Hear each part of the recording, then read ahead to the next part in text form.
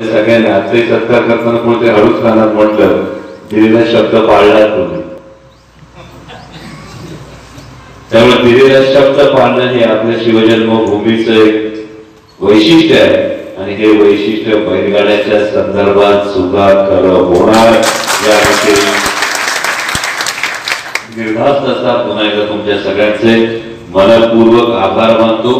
आणि तुमच्या सगळ्यांवर नवीन जबाबदारी आपल्या सगळ्यांबरोबर जी आहे ती म्हणजे विधानसभेमध्ये सुद्धा ही गोष्ट घडली पाहिजे.